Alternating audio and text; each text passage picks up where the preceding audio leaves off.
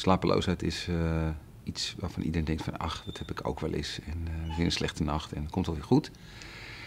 Waarbij vaak vergeten wordt dat er mensen zijn die dat echt chronisch hebben uh, of terugkerend. En dat het niet zomaar iets is van ontspan je en van lekker in slaap. Het is echt een stoornis die in de hersenen te vinden moet zijn. En daar werken we aan. We hebben een aantal dingen ontdekt. Uh, ten eerste denk ik dat het wel heel belangrijk is dat we hebben aangetoond dat er risicogenen zijn. Dus als je van een gen een bepaalde uitvoering hebt, dan heb je een verhoogd risico om slapeloosheid te gaan meemaken in je leven. Nou, dat is, eigenlijk is dat een doorbraak, omdat heel vaak wordt gedacht dat slapeloosheid tussen je oren zit.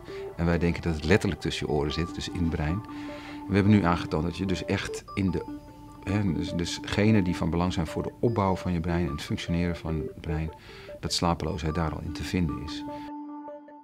Ik weet wat slapeloosheid is, ja. ja.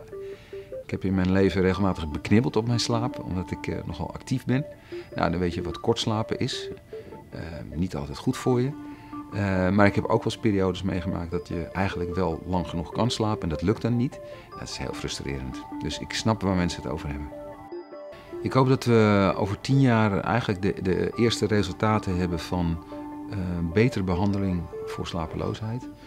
Waar die behandeling uit bestaat, dat kan ik nu eigenlijk niet voorspellen. We zijn nu net aan het vinden in welke genen en in welke biologische processen er iets misgaat bij mensen met die kwetsbaarheid. Um, maar ik hoop dat we een pakket van maatregelen hebben waarvan we, waarmee we mensen dan echt beter kunnen helpen. Zodat ze die kwetsbaarheid gedeeltelijk gewoon kwijtraken. Ja, ik wil echt heel erg graag dat slapeloosheid echt verdwijnt.